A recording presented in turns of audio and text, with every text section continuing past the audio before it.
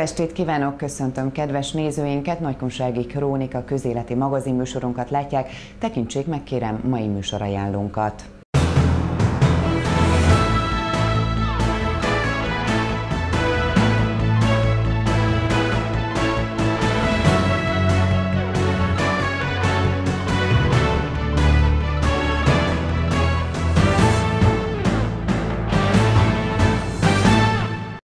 Kedves nézőink, jövő hétvégén megrendezésre kerül a 19. Karcagi Birkafőző Fesztivál. A témával kapcsolatban aktuális kérdések című heti magazin műsorunk mai vendége Szepesi Tibor, a Déréné Kulturális Központ igazgatója, rendezvény főszervezője.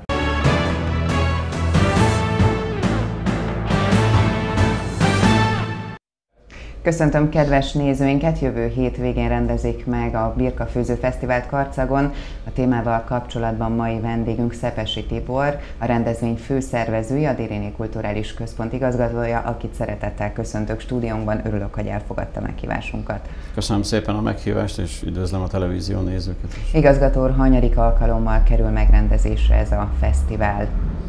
Mint ahogy azt már annyira jól tudják a karcagiak, hiszen eh, minden évben több ezren, sőt tízezer fölötti eh, vendégszámot eh, produkál a rendezvény.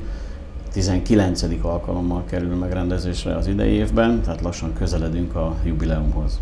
Közelednek a jubileumhoz, illetve ugye néhány nap választ már el bennünket attól, hogy megrendezésre kerüljön ez a fesztivál. Adott a kérdés, hol tartanak most a szervezéssel? Gondolom már nagyon fáradtak. Én azt gondolom, hogy időarányosan elvégeztük azokat a feladatokat, amelyek szükségesek, hogy a 19. Birkafőző Fesztivál is legalább olyan sikeres legyen, mint az előző évek rendezvényei. Gyakorlatilag a főzők nevezésével kezdődött ugye a, a látványos része magának a fesztiválnak. Nyilván részünkről azt már megelőzte azért azok az előkészítő munkálatok, amely a helyszínnek a az újbóli átnézését, az esetleges módosításokat, a jogszabályi változások figyelemmel eh, kísérését, illetve az azokból adódó eh, változásoknak az átbeszélését, a területnek az átrendezését eh, irányozták elő. És ahogy mondom, ugye a nevezéssel indult a látványos része, gyakorlatilag az első két hétben elfogytak a, azok a főzőhelyek, amelyet felajánlottunk a főzők részére. Bocsánat, nőtt a főzőhelyek száma a tavalyihoz viszonyítva. Szükséges volt esetleg egy ilyen intézkedés? Azt vettük észre, hogy a kettő évvel ezelőtti bővítés eredményes volt. A tavalyi évben is egy-két főzőhely maradt ki a rendezvény napján, ezért nem kellett bővítenünk. Vannak olyan helyek, amelyet föltartottunk azoknak a szervezeteknek, egyesületeknek, akik eh, szponzorálják magát a rendezvényt, itt még folynak a, a tárgyalások. Én azt gondolom, hogy a héten eldőlne, eldől az, hogy eh, marad-e még hely a főzők számára. Érdeklődés van folyamatosan, eddig ki tudtuk elégíteni mindenkinek az igényét. Jelenleg olyan tíz üres helyjel rendelkezünk, de már a tegnapi napon délután is jelentkeztek, hogy ez folyamatosan változik. Én azt gondolom, hogy ez a 262 főzőhely, amit kialakítottunk két évvel ezelőtt, az jelenleg elégnek tűnik, és azt gondolom, hogy ez nagyjából az az ideális létszám egyébként, amit a terület nagysága még el is bír. Esetleg aki most vesz először részt ezen a, a fesztiválon, mint főző, azt mit lehet róla tudni, hogy egy főzőhely körül mekkora és hány lábassal lehet főzni birkapörköltet? A gyakorlat azt mutatja, hogy nagyon kevés új eh, főző jelentkezett ebben az évben, illetve azok a főzők, akik eh, újként kapcsolódnak be magába a rendezvényhez, ők eh, csatlakoznak egy már hosszú ideje itt főző főzőhöz, tehát gyakorlatilag ilyen kölcsönös baráti kapcsolatok, meghívások alapján jelentkeznek, legalábbis én így veszem észre magát a főzők a, a rendezvényre. A főzőhelyek nagysága általában a 3 méter 3 méteres területet jelentik. E, erre fölfér egy sörsátor, elfér maga a, a lábas, ugye lehet főzni tűzzel, lehet főzni gázzal, nyilván attól függ, hogy milyen e, területtel rendelkezik, melyik helyet foglalta el a, a főzni szándékozó. Tehát elfér egy, egy sörsátor, alá be lehet tenni nyilván azokat a padokat, egyéb kiszolgáló eszközöket, amelyel részt lehet venni, meg lehet főzni gyakorlatilag a, a birkapörköltöt, és hát egy helyen ugye ez a két főzési lehetőség, tehát a két bogrács vagy két fazék lehetősége adott. Ugye néhány évvel ezelőtt egy katasztrófavédelmi intézkedést bevezettek, tűzoltó készüléket is kell tartaniuk maguknál a főzőknek. Az idén hogy lesz ezt maguk hozzák, vagy esetleg lehetőség lesz arra, hogy a helyszínen béreljenek?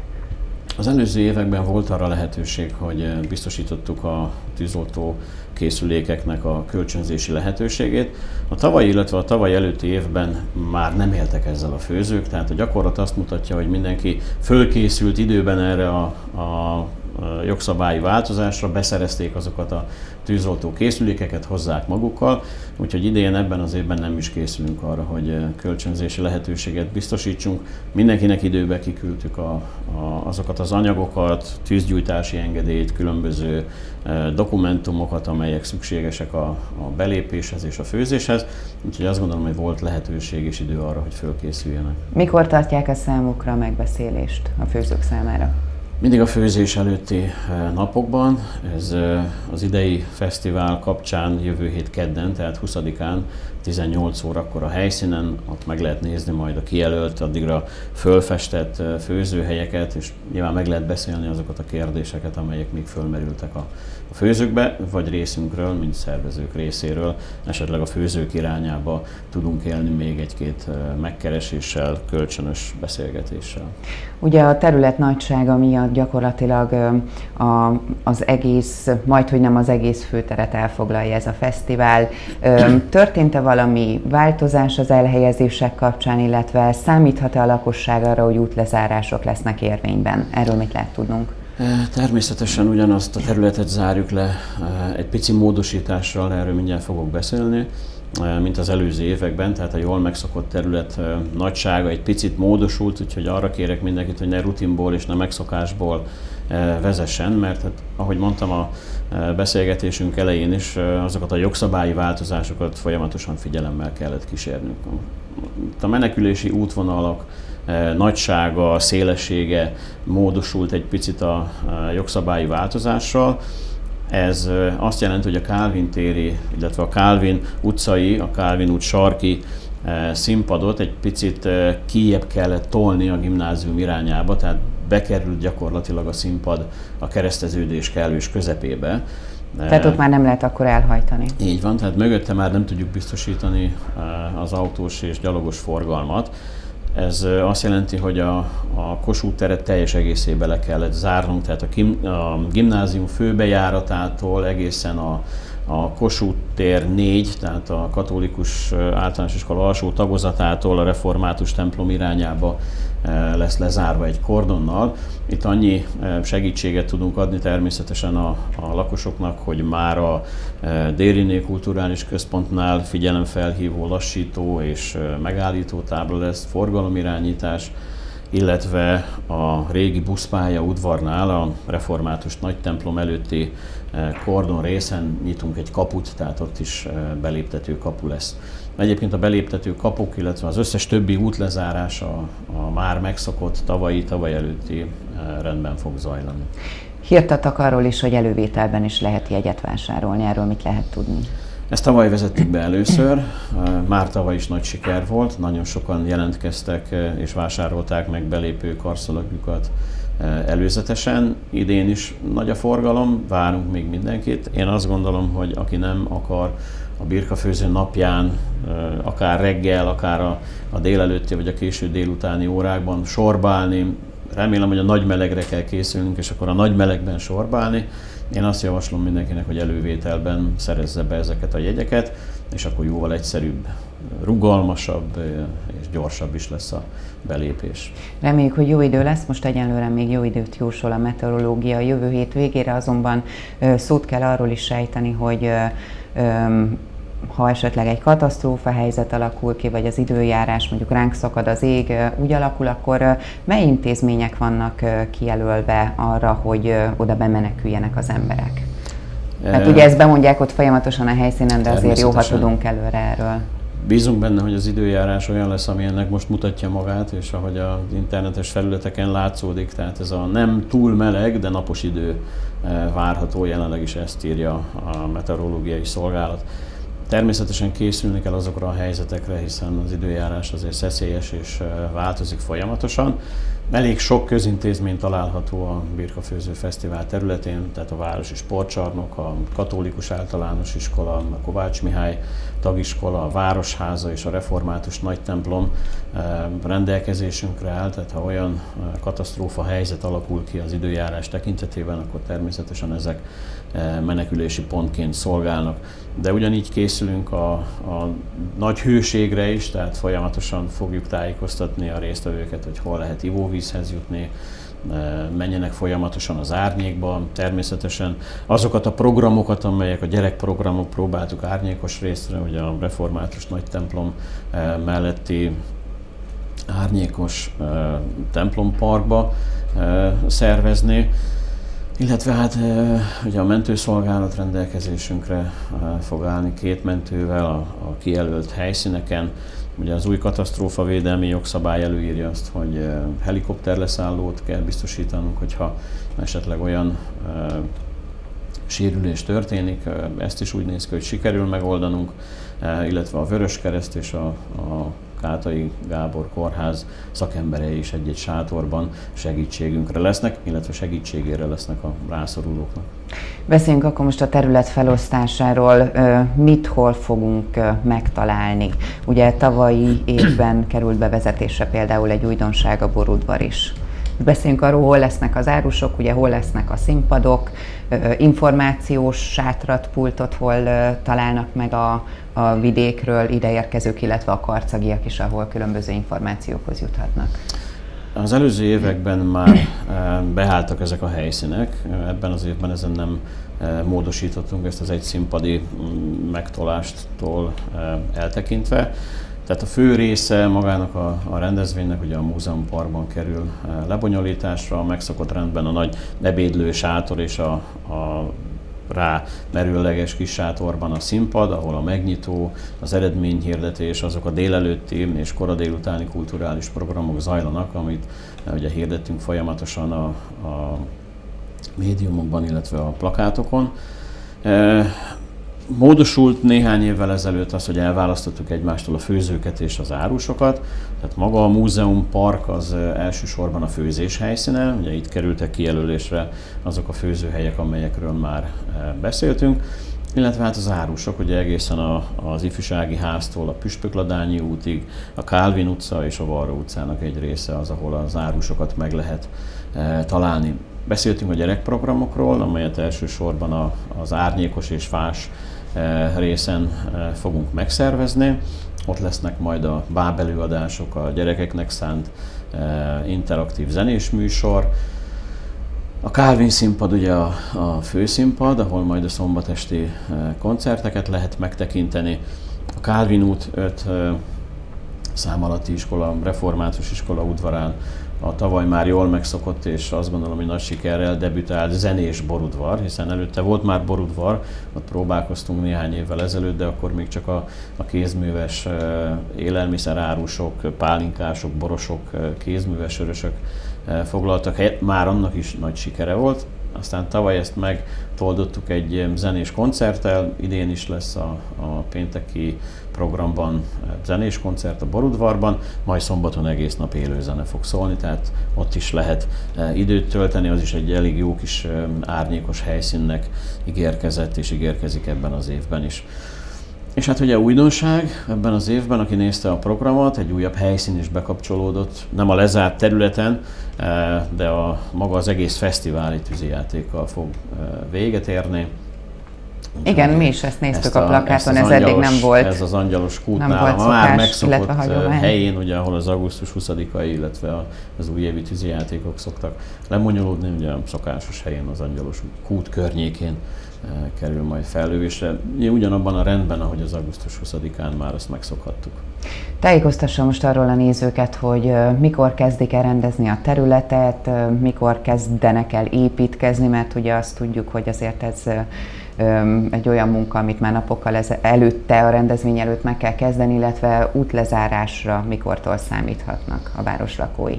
Ez a terület, amiről most beszéltünk, ez ugye 11 néhány ezer résztvevő fog ezen a két napon részt venni, tehát gyakorlatilag egy kisebb várost kell fölépíteni és ez valóban nem egy-két napig fog tartani. Tehát a múzeumpark berendezését, illetve azoknak a, a, a részeknek a berendezését, amely nem érinti az útlezárásokat, már el fogjuk kezdeni a hét elején. Tehát meg fog érkezni a sátor, fölállításra kerül, megjönnek a, a mobil wc azokat próbáljuk majd elhelyezni a területen, úgyhogy ne legyenek zavaróak, de megkezdődik a múzeum kerítésének a, a szakaszos megbontása a könnyebb közlekedés miatt. Maga az útlezárás az pénteken reggel 6 órától kerül elhelyezésre, és egészen szombat estig, illetve vasárnap délig, addig, amíg gyakorlatilag a felépített kis város elbontása nem kerül. Tehát péntek reggel 6 órától, vasárnap délig lehet számítani a teljes útzára. Ugye két napos a fesztivál, mit kell arról tudnunk?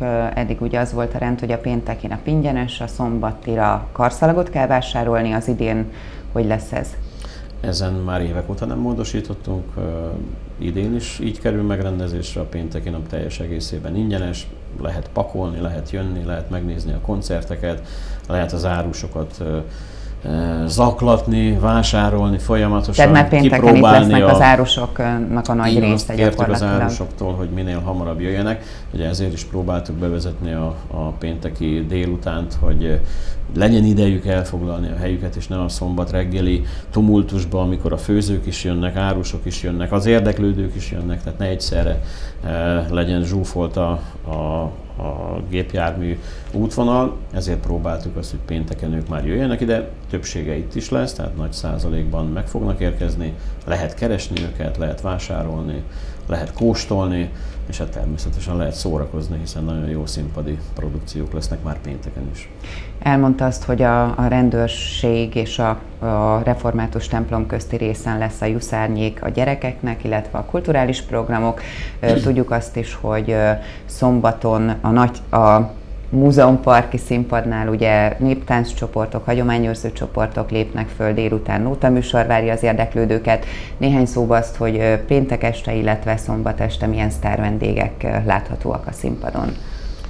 A pénteki színpadi produkciók, ahogy ezt hallhattuk, ugye először a, a hagyományőrző és karcagi csoportok fellépésével kezdődik, utána pedig ugye az volt a, a koncepciónk, és ezen sem változtattunk, hogy karcagi együttesek mutatkozhassanak be a karcagi publikumnak, úgyhogy a Match Boys együttes és a Brain Drain együttes kezdi és zárja majd a, a péntek estét. Kettőjük közt pedig két sztár vendéget fogadhatunk majd a, a Múzeum Parki színpadon. Takács Nikolasz és Dérheni fog fellépni, és reméljük, hogy nagy sikerű koncertet adni. De nem ér véget ezzel a pénteki program, már ami a koncerteket illeti, hiszen nagyjából, ahogy véget ér a múzeumi program, vagy talán egy picit még hamarabb is, elkezdődik a Borudvarban a, a koncert, a Fülemüle Tribute Band fog a Borudvarban koncertet adni. És ahogy, ahogy azt már mondtuk, ugye a gyerekprogram is, tehát délután már a, a Juszárnyékban bábelőadás kerül megrendezésre a gyerekeknek. Tehát gyakorlatilag mindenhol, minden részén a fesztiválnak már a pénteki napon megtalálhatja mindenki a kedvére való zenés szórakozási lehetőséget is. A szombati nap ugye a megszokott rendben indul, bár a felvonuláson egy picit eh, változtattunk, tehát hosszabb útvonalon fog eh, a zenés menet megtörténni, mert ugye az ifjúsági házból eh, fognak indulni, úgy mennek majd el a Kálvin utcára és vissza a Múzeumparki színpadra, ahol 10 órakor a hivatalos megnyitó után veszi kezdetét gyakorlatilag a kulturális program néptánccsoportok és egy meglepetés vendég, még részünkre is meglepetés vendég, hiszen egy Kazasztánból érkezett tánccsoport, egy gyerek tánccsoport fog műsort adni. Ők ebben az időben Magyarországon tartózkodnak, és kérték a lehetőségét, hogy bemutatkozhassanak Karcagon, hiszen Karcag és Kazasztán között azért testvérvárosi kapcsolat is van, tehát ők mindenképpen szerettek volna itt megmutatkozni, részt venni a, a rendezvényen. Én nagyon örülök, hogy ők el tudtak jönni, és egyfajta más programot, egy, egy ízelítőt adnak gyakorlatilag az ottani kulturális és tánc programokból, szokásokból. Lesz még a programban fúvózenekar, operett részleteket fogunk hallani, és hát természetesen a szokásos, elmaradhatatlan és nagy sikerű nóta műsor zárja majd az eredményhirdetés után a, a Múzeum Parki programot. Áttevődik a helyszín a Kálvin utcára, ahol azért azt el kell mondani, hogy, hogy a Kálvin utcának két oldala van a, a nap folyamán, a Borudvarban, ahogyan mondtam, egész nap eh, lehet majd eh, élőzenét hallani, illetve a másik oldalon, a Juszárnyékban délelőtt egy bábelőadás, délután pedig egy interaktív zenés gyerekműsorra várjuk majd a, a fiatalokat, természetesen az ottani kézműves foglalkozások, állatsimogató és sok-sok minden eh, meglepetés mellett. A színpadon este 7 órakor kezdődik a, a program, a nagy színpadon. Testvérvárosunkból érkezik majd a Royal Székely Keresztúr együttes, ők fognak egy, egy rövid bemelegítő koncerttel kezdeni, utána pedig a Bagosi Brothers Company fog én nagyon bízom benne, hogy nagy sikerű koncertet adni, hiszen Magyarország egyik legjobb ha lehet így mondani, eh, fiatal együtteséről van szó. Egyre többet eh, játszák, sőt most már gyakorlatilag eh, minden rádió csatorna játsza az ő dalaikat, nagyon nagy sikerrel szerepeltek a, a Petőfi Rádió tehetségkutatóján, a Csetamás programot megnyerték, uh-huh. úgyhogy én azt gondolom, hogy egy, egy nagyon jó koncertnek nézhetünk elébe. A vége pedig, ahogy azt megszokhattuk már az előző években, utcabál, DJ közreműködésével, és akkor éjfélkor pedig a tűzi játék, ahogyan azt meg is beszéltük. Igazgató, köszönöm szépen, hogy eljött hozzánk, és napsütéses, sikeres fesztivált kívánunk. Bízunk benne, hogy így lesz. Köszönöm szépen.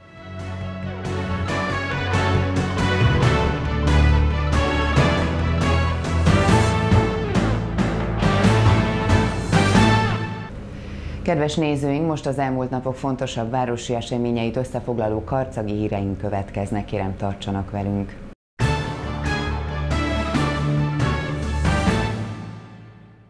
Köszöntöm nézőket, a Táncsis 17-es óvodában vagyunk, és mögöttünk egy érdekes foglalkozás van. Erről beszélgetünk Andrási Tibor tagintézményvezetővel. Mi van ma az oviban? A Csöpnyi Csodák Gyermeknapot rendeztük meg az óvodások számára. Ezt már évek óta hagyományként működtetjük, amikor a gyerekeket felnőttek műsorával, családok szereplésével és érdekes programokkal ajándékozzuk meg. És most egy különlegesség is zajlik, hiszen Szolnokról érkezett egy négylábú kis csoda. Igen, ez Gino, a Flash Péterné vezetésével érkezett, aki terápiás kutya, és segít a gyerekeknek a fejlesztésében, problémás, sérült emberek kezelésében, feszültségoldás, illetve fájdalomcsillapítás a szerepe, illetve egyfajta szocializációs motor ez a kutya. Mint látható is a háttérben, a gyerekek éppen vele játszanak, az ő mozdulatait utánozzák, és megtapasztalják, hogy milyen jó egy kutyával játszani, milyen nagy élmény és öröm forrás egy kutya. És hát aki azért az arcfestés választotta, annak már elkészültek a kis oroszlánokat, látunk sok-sok kis lepkét, tehát azt gondolom, hogy mindenki talál olyan programot, ami éppen neki tetszik. Igen, még népi játékok várják a gyerekeket, arcfestésen túl lesz kézműveskedés, elefántot készítenek, palacsintávés, amit a szülők készítettek, fagylaltal jutalmazzák meg a szülők a gyerekeket, hogy igazán csodálatosabb varázsolják ezt a mai délutánt akkor ez egy pót gyereknap szülőknek is, hiszen látjuk, hogy a felnőttek is nagyon élvezik ezt a mai délután, és ez egy jó alkalom arra, hogy együtt legyenek a szülők is. Igen, ezt nagyon fontosnak tartjuk, hogy a szülőket bevonjuk az óvodai életbe, és együtt ö, teremtsünk a gyerekek számára élményeket, programokat, és részesei legyenek a családok az óvodának.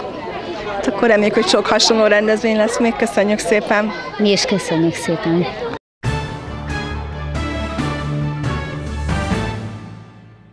Köszöntöm nézőinket, Plósz Csillával beszélgetek, hiszen az Erkel Ferenc Alapfokú Művészeti Iskolában hamarosan lesz egy hangverseny, nem is akárkiknek, kiket hívtak meg a mai napra. A mai délutánra nyugdíjas pedagógusokkal találkozunk itt az Erkel teremben. E, immár hagyományos kis megemlékezésre, ünneplésre kerül itt sor. Akkor mondhatjuk, hogy ez egy pót pedagógus nap, vagy előpedagógus nap számukra. Így van, ugye a pedagógus napot 1951-től ünnepeljük, mindig június első vasárnapja a pedagógusok ünnepe. Ugye ez nem egy nagy hangos ünnep, de alkalom nyílik arra, hogy a, a gyerekek, a szülők köszönetet mondjanak a pedagógusoknak a mindennapos munkájukért. Mi ebben a szellemben mindig a nyugdíjas pedagógusokat várjuk ide az Erkel terembe, és megajándékozzuk őket egy kis muzsikával kik fognak ma itt fölépni, hiszen hallottuk az előbb, hogy már hangoltak, a zongorát hallottunk, vannak hangszeresek is, tehát kik fognak fellépni? Az Erkel tagintézményünk, a művészeti iskolai tagintézményünk növendékei, illetve tanárai lépnek föl a műsorban. Változatos hangszereken lesz tárogató, klarinét, hegedű, zongora, énekhang és az ütőseink is képviseltetik magukat. Egy nagyon vidám színes műsorral készültünk. Szeretnénk egy, egy nagyon kellemes délután szerezni a már nyugdíjban lévő pedagógusok számára. Azt gondolom, hogy minden adott akkor ahhoz, hogy ez jól sikerül, a madár csicsergést akkor fel fogja váltani egy kicsit a zene. Így van, majd a madarak besegítenek nekünk, hangulatosabb lesz így ez a kis koncert, amelyet még egy kis versel is megtűzdelünk. Ilyenkor a kollégáim is szeretnek néhány verset idézni, és én is fogok egy verset idézni ebből az alkalomból akkor mondhatjuk, hogy ez egy rendhagyó pedagógus nap lesz most itt a nyugdíjas pedagógusokkal. Reméljük, hogy azért még jövünk ebben a tanévben, hiszen azért még lesz az iskolának rendes tanévzáró ünnepsége is, amikor a diákok fognak majd a szülők előtt bemutatkozni. Így van, a művészeti tagintézménynek a tanévzáró ünnepéje az június 19-én hétfőn délután 5 órakor lesz a Dériné Kulturális Központban, és ott bemutatkoznak a növendékek. Nem mindenki, általában azok a gyerekek szoktak ekkor játszani, akik az év folyamán megyei vagy országos versenyen igen előkelő helyezést értek el, és ott is bemutatják a nagy közönségnek a tehetségüket és utána pedig jön a nyár, és akkor mindenki egy picit feltöltődik, de erről majd még külön beszélünk. Köszönjük szépen! Nagyon szépen köszönöm az érdeklődést!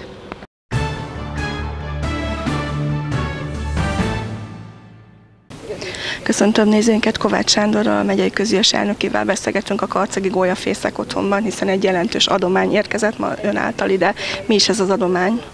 Hát minden évben a megyei önkormányzat által szervezett megyebálon eh, adományokat gyűjtünk arra érdemes és olyan szervezeteknek, iskoláknak, eh, amelyeknek szüksége van bármi nemű segítségre. És az idei évben úgy döntöttünk, hogy a Karzagi Gólyafészek otthonnak fogunk gyűjteni a megyebálon, és nagy örömömre szolgált, hogy több mint egy millió forintot sikerült összegyűjteni adományokból, támogatásokból, és ezt felajánlottuk itt a Gólyafészek gyermekotthonnak, aki játszóteret fog ebből építeni, a régi elavult játszóterét fogja felújítani. Azt gondolom, hogy segíteni mindenképpen kell. Segíteni kell minden embernek, de azoknak a legnagyobb segítségre azoknak van szükségük, akik nem tudnak saját magukon segíteni. Itt ebben az intézményben olyan gyermekeket, fiatal felnőtteket látnak el nagyon nehéz körülmények között, nagyon nehéz munkakörülmények között, hiszen a dolgozóknak extra teljesítményt kell nyújtani, olyan gyermekeket és felnőtteket látnak el, akik minden segítséget megérdemelnek. Ők nem tudnak magukon segíteni, hanem rá vannak szorulva a gondozókra, rá vannak szorulva a társadalomra, és ha tudunk segíteni, egy kicsit is tudunk nekik segíteni, akkor mindenképpen szükséges. És értékelő az ember azt, hogy milyen szükséges és milyen fontos az egészség, és nekik ez nincs meg, az élet egyik legnagyobb adománya. És hogyha tudunk segíteni, fel tudjuk hívni a figyelmet, akkor az ő nehézségeikre, akkor mindenképpen ezt meg kell tennünk. Az előbb megnéztünk néhány osztályt itt a négyből, és láthattuk, hogy azért az elmúlt évtizedekben nagyon sokat fejlődött itt technikailag is, és modernizálódott is az intézmény. Tehát azt gondolom, hogy most akkor egy picikét a komfortérzetük a gyerekeknek ezzel a játszótérrel is jobb lesz, hiszen hallottuk, hogy ide a városba viszik ki más alkalmakkor őket. Igen, ez az intézmény már 37 éves.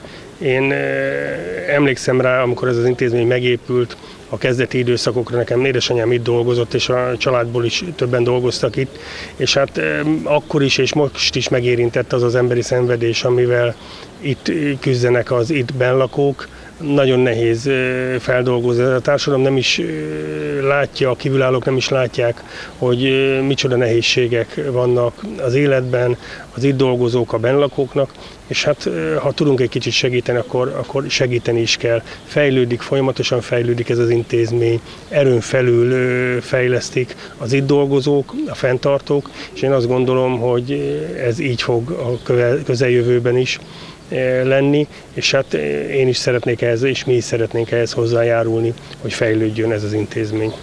Köszönjük szépen! Én is köszönöm a lehetőséget. Kálai Mihálynéval az otthon megbízott igazgatójával beszélgettünk. Nagyon meghatódott, amikor átvette ezt az adományt. Tudta, hogy kapnak, de számított ekkora összegre? Nem számítottam ekkora összegre korán sem, és mi is nagyon boldogok vagyunk, mert ritkán talál meg bennünket ilyen lehetőség és hát azt gondolom, hogy az még egy plusz, hogy egy másik cég is támogatta a megyei önkormányzat által adottakat. Itt állunk most a mostani játszótérnek, igen, már nem nagyon nevezhető, de régi játszótér előtt, ide fog kerülni az új. Valóban így van, ezt a régi játszóteret már évek óta nem használjuk, balesetveszélyes is, illetve nem felel meg az EU szabványoknak, ezért égi tervünk, hogy új játszóteret szeretnénk, de mivel ez nagyon sokba kerül, és a költségvetésből erre ennyi pénzt nem tudunk áldozni, ezért szponzorokat kerestünk hozzá.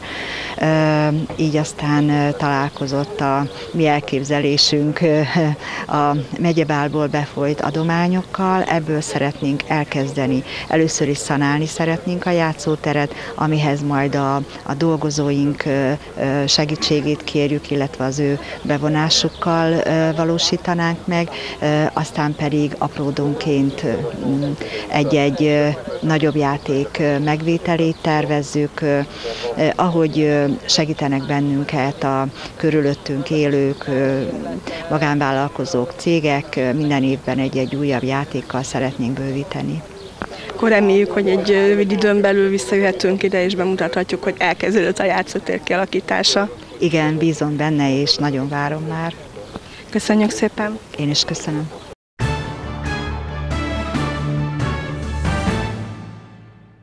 Köszöntöm nézőket, a Takács Péter tagóvodában vagyunk, és a gyerekek mögöttünk javában táncolnak, énekelnek, és már hallják is, ami szól, hiszen egy adomány átadás történt az előbb. Erről beszélgetünk Posztosné Kovács Éva tagintézmény vezetővel. Nagy öröm, ezt gondolom a mai nap a gyerekek életében is. Igen, óriási öröm számokra, hiszen a tagintézményünkben a nevelési év során több olyan rendezvényünk van, amely kint az udvaron történik, ahol is nagyon nagy segítség nekünk ez a kihangosító. A gyerekeknek így hangosabban szól a zene, hallják egymás szavát, tudnak bele verselni, dalolni, ezt tényleg nagyon-nagyon köszönjük, és nekünk ez nagyon nagy segítség. A gyerekeknek pedig óriási öröm. Igen, hiszen látjuk, hogy itt táncolnak, forognak, énekelnek a zenedallamára. Igen, ismerik már ezt a zenét, ugyanis volt egy tanévzáró ünnepségünk, amikor szintén erre a zenére tudtak egy kicsit mozogni, most aztán kiélhetik magukat, most aztán tényleg hallhatják teljes hangerővel, és minnyáján nagyon élvezik. Akkor én azt kívánom, hogy sok-sok alkalommal tudják használni, és a gyerekeknek sok örömet okozzon. Köszönjük szépen, azon leszünk. Most már erre építve fogjuk fel a, a rendezvényeinket felépíteni és megvalósítani. Köszönjük szépen! Én mi is köszönjük szépen, hogy itt voltak, és köszönjük szépen Garcaki Nagy Zoltának még egyszer ezt a csodálatos adományt, ami a gyerekeink életét színesebbé, hangosabbá teszi. Képviselő úr, kedves szülők, kedves gyerekek! Nagyon nagy örömmel fogadjuk, ahogy mondta Évika Óvonéni ezt az ajándékot, hiszen nagyon sok színes és gazdag rendezvény van itt a Takács Péter úti óvodánkban egész év folyamán, ami most már szebbé, hallhatóbbá teszi azt a sok-sok csodálatos gyermekhangot, énekhangot, az óvonéni meseelőadásait, még alkalmanként a szülők meseelőadásait is, ami ezeket a gazdag óvodai programokat fogja színesíteni a következő időszakban. Köszönjük szépen, és Isten tartsa meg jó szokását képviselő úrnak. Köszönjük, kedves gyerekek! Sziasztok! És a kedves szülőket és a dolgozókat is nagy tisztelettel köszöntöm, igazgatónőt is.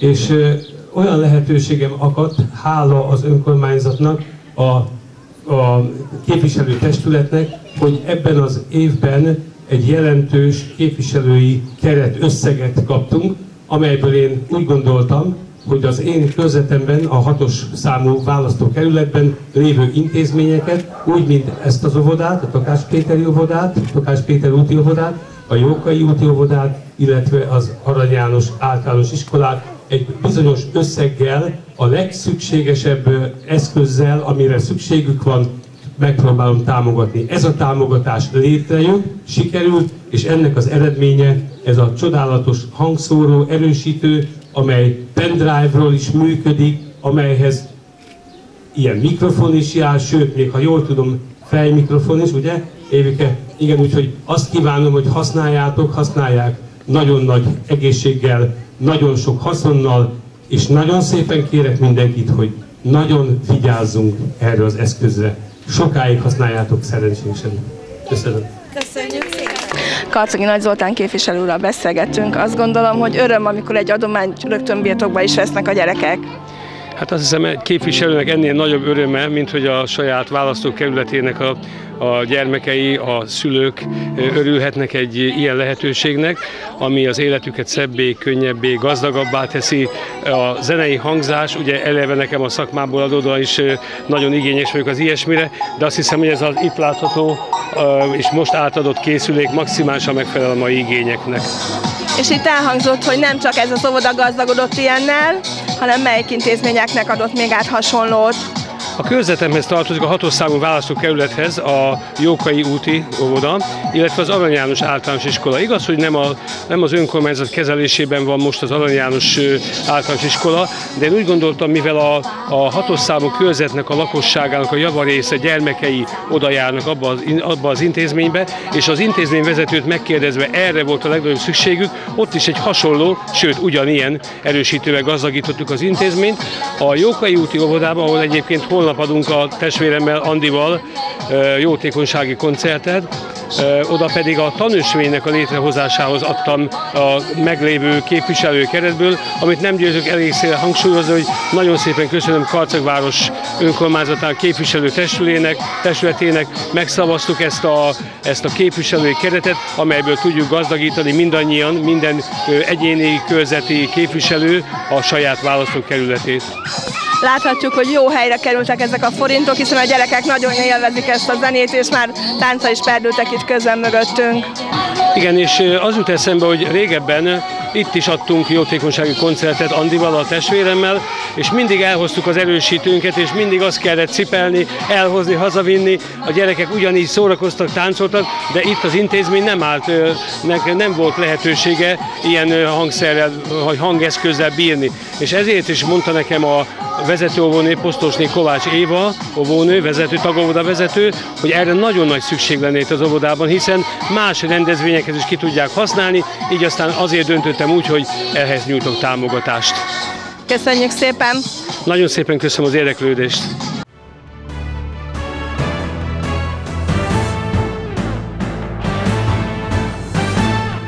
Kedves nézőink, most Háttér című magazin műsorunk következik, mai vendégünk Lévai Kálmán, akit Bögöz díszpolgárává választottak.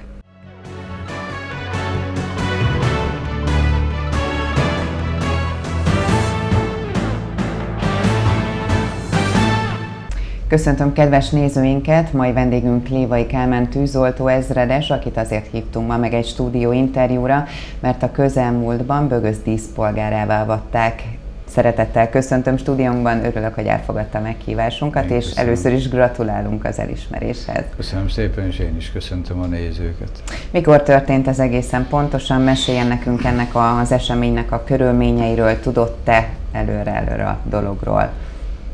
Hát természetesen nem tudtam róla, és igazából én azt gondolom, hogy mindenfajta ilyen elismerés, kitüntetés, vagy más hasonló dolog akkor szép és akkor igazán értékes, ha nem előre tudott. Tehát ha ott a tethelyen tudja meg valaki, mert hát a, a mosoly, vagy a meglepetés, a meglepődés, akkor, akkor lehet igazán őszinte, el lehet ezt játszani persze, és hát nyilván az, amikor előre eldöntött dolgokról van szó, és úgy kell meghívni valakit, hogy jöjjön el, és igazából akkor biztos, hogy eljön, hogyha tud arról, hogy ő most valamilyen elismerést fogott átvenni. Ezek is jó dolgok, de Isten igazából az, hogy ők biztosak voltak abban, hogy én ott, ott vagyok, megjelenek ezen az ünnepségen, és, és semmit nem tudtam előre. Milyen ünnepség volt ez, és aminek az apropóján ugye megjelent a helyszínen, ahogy ön fogalmazott, és ez mikor történt? Május 4-e a Szent Flórián nap, a tűzoltók védőszentjének ünnepe, és e köré szoktak rendeződni a különböző tűzoltó, tűzoltó jellegű ünnepségek. Hát ki mikor tudja ezt ütemezni, ez egy kicsit a Szent Flórián nap után volt, egy hétvégén, hisz itt önkéntes tűzoltókról van szó, akik hétközben dolgoznak, és csak hétvégén érnek rá esetleg ünnepelni. Ide hívtak meg bennünket néhány kollégámmal együtt, akik együtt végeztük tulajdonképpen ezt a munkát.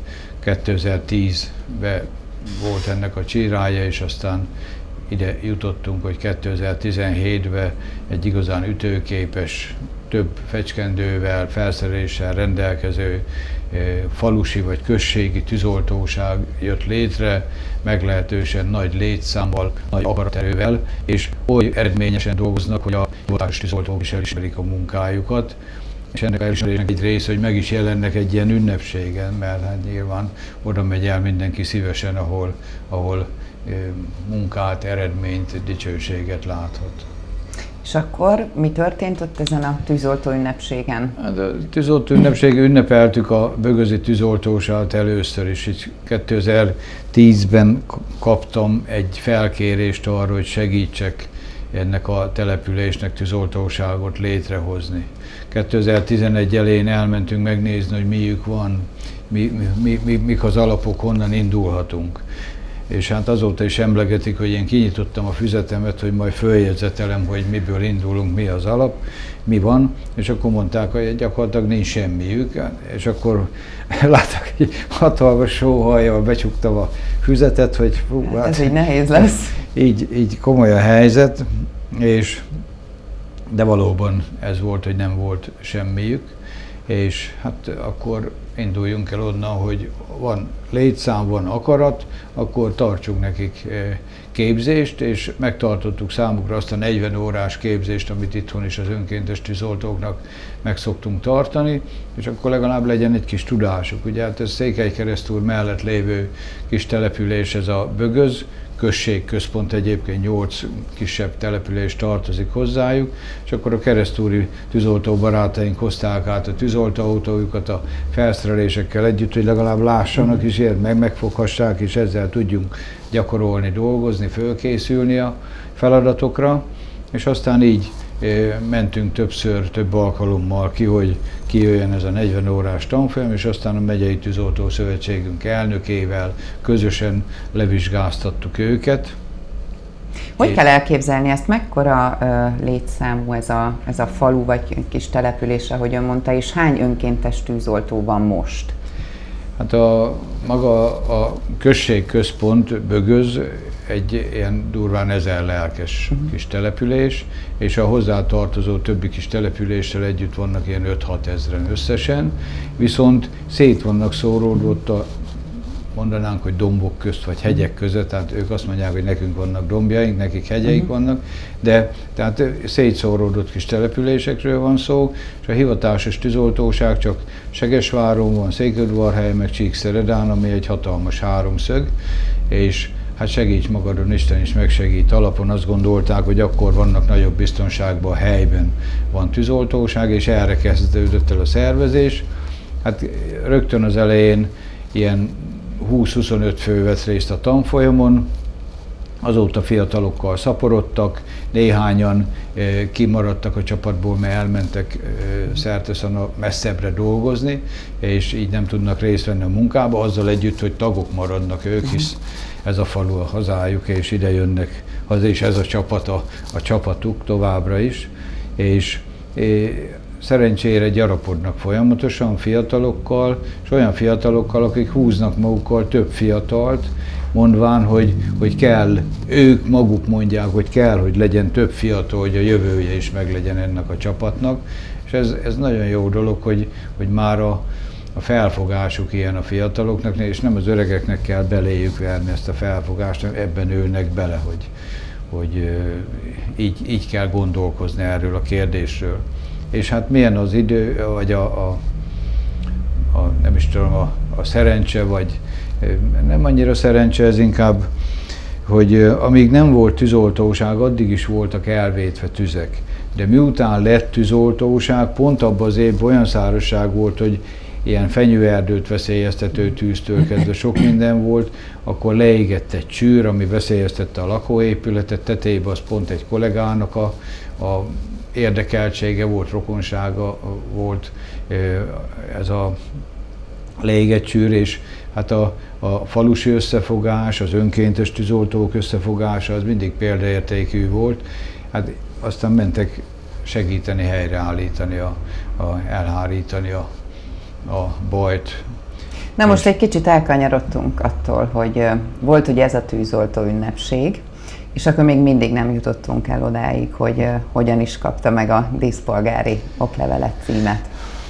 Hát mindig mindennek van egy kútfeje, tehát ahonnan, ahonnan indulnak a dolgok, és mivel én ezt a feladatot egykori főnökömtől kaptam, feladatot, felkérést vagy kérést, a dr. Fazekas Sándor régi polgármesterünktől, miniszterünktől, aki 20 évig volt a főnököm, és igen eredményesen tudtunk együtt dolgozni tűzvédelmi kérdésekbe.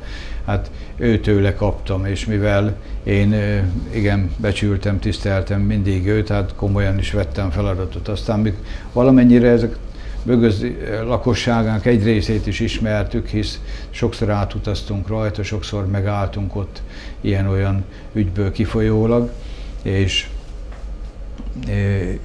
jött ez a felkérés, hát lássunk neki a dolognak, mit lehet tenni, és akkor így indult ez az oktatás, viszont az, hogy oktatunk, oktatunk, az rendben van, de tovább hogy jutunk, és Hát az, aki jön-megy az országba, különböző helyeken, és mindig jártatja a száját, mint én is, hát jó időben, jó helyen jól kell szólni, és akkor történhet valami, és sikerült olyan helyen elpottyantanom ezt a gondot, hogy van itt egy csapat, akinek kellene valamilyen tűzoltó felszerelés, vagy tűzoltó autó, hát a autóra nem is nagyon mertünk gondolni, de valamilyen felszerelés csak kellene, mert valamilyen járműbe az beteszik, kiviszik a helyszínre, és akkor majd történik valami, hát valami. A küküllő ott folyik, ami elég bővízű, és akkor, hogyha van egy szivattyú, meg van tömlő, akkor tudnak valamit csinálni, hát lent bögözön, igen, de a többi településen nem feltétlen folyik, meg fönn a hegyen, mondjuk egy sebes patak van, ami lezúg a hegyoldalon, de mindegy, valami legyen, tehát ez, ebbe főtt leginkább a fejem, hogy hogyan tudunk tovább lépni, mert még oktatunk, addig még féken tartjuk a csapatot, de utána olyan tetterő van a székelybe, hogy hihetetlen, és megvesznek attól, hogyha nem fognak tudni dolgozni, amikor meg esetleg lenne is feladat. És hát így adódott az, hogy Szolnokon jó helyen elkottyantva ezt a igényt, a egykori papírgyárnak a vezérigazgatója, hogy a gyár be, bezárásra került, és a ott található dolgok értékesítésre kerültek, és hát a papírgyár válti tűzoltóság volt egy Ford mikróbusza, abba tűzoltó felszerelések, és hát ő azt mondta, hogy ezt ő szívesen felajánlaná ennek a csapatnak, és hát így adódott, hogy 40 éves csőrös Ford Microbus, gyönyörű jármű, 40, 26 ezer kilométer volt benne összesen, tehát szinte be sincs járatva, békebeli anyagokból gyártva, tehát ahol a trepni lemezről lekopott a festék, az fémtiszta volt, nem rozsdás, meg nem lukas, vagy lyukacsos már a rozsdától, tehát egy nagyon jó állapotban lévő jármű volt, különböző tűzoltó felszerelések benne, kis motorfecskendő, amit az előbb említettem, és hát ezt tudtuk ennek a csapatnak kivinni, és már májusban ott volt ez a jármű, tehát áprilisban kezdtük az oktatást, és májusban már ott volt a jármű, és aztán már saját járművel lehetett gyakorolni, és ez akkora löketet adott nekik, szereztek hozzá egy utánfutót, két köbméteres víztartályú, hogy saját vízük is legyen, ne csak a patokra vagy tűzcsapra legyenek hagyatkozva. Utána tekerték tovább, visszavették a, a önkormányzatnak az épületét, amiben valamikor régen a tűzoltóság szertára volt, ezt rendbe tették saját erővel. Később eljutottak oda, hogy a Magyar Tűzoltó Szövetség közreműködésével és az ottani tűzoltó szövetség közreműködésével IFA tűzoltókocsihoz mhm. juthattak, akkor bővíteni kellett a szertált, aztán a tetőt egy szintre kellett hozni, uh-huh. hogy ne fújjon be a hó, ne essen be az eső. Tehát Most a tetőtér úgy van kialakítva, hogy ott uh-huh. vagy irodák, vagy szálláshelyek is uh-huh. kialakíthatóak legyenek. Akkor mellette egy ilyen nyitott szint, rendezvény helyszínt uh-huh. alakítottak ki. Most a háta mögött is alakítják a terepet, mellette folyik a küküllő, a művöldési ház föl lett újítva. Tehát a környék is rendeződik gyönyörűen. Hát egy, egy lélektani központja uh-huh. a falunak azóta. Tehát volt ez a rendezvény, kiadta önnek ezt a díjat, hogyan kapta meg ezt, a, ezt az elismerést?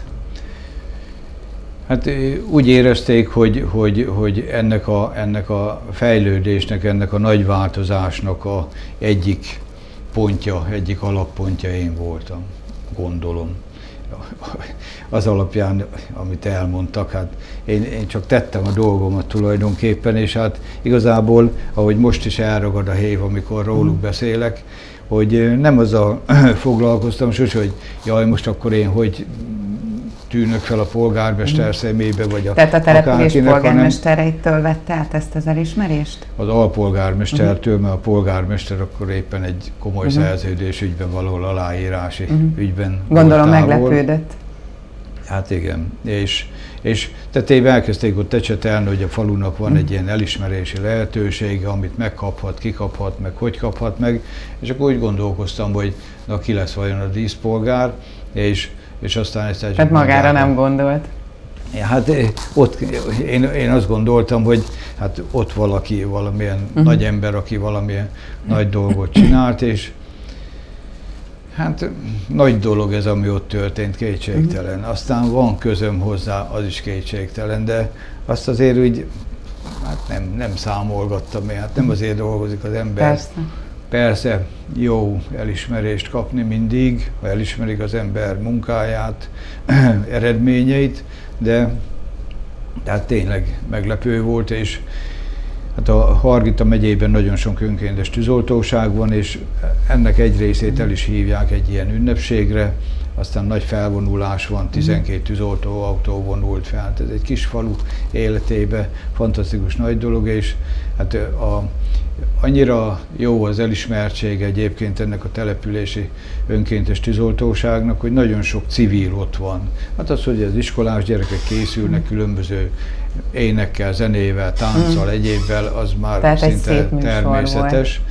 Egy szép műsor volt hozzá, és hát ő általában megyei közgyűlés elnöke is ott uh-huh. szokott lenni, hogyha meg tudja tenni.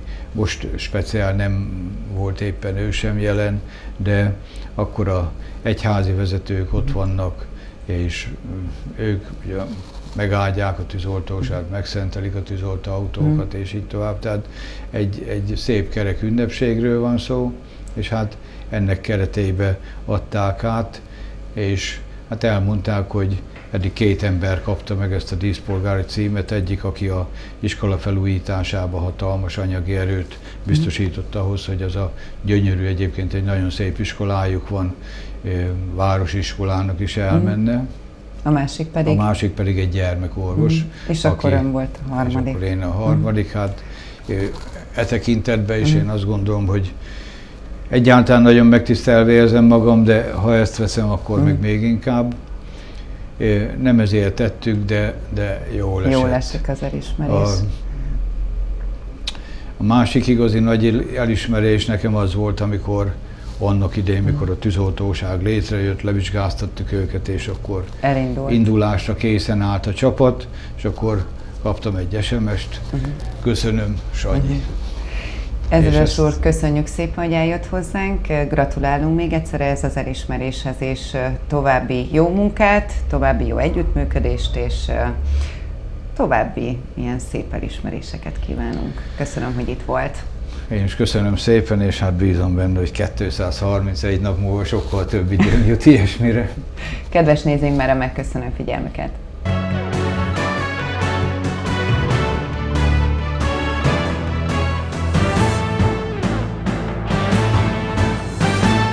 Kedves nézőink, már a megköszönöm megtisztelő figyelmüket, hívjanak bennünket, vagy írjanak nekünk a megszokott csatornákon, és maradjanak velünk, mert egy rövid reklám után folytatjuk adásunkat a jövő heti viszontlátásra mindenkinek.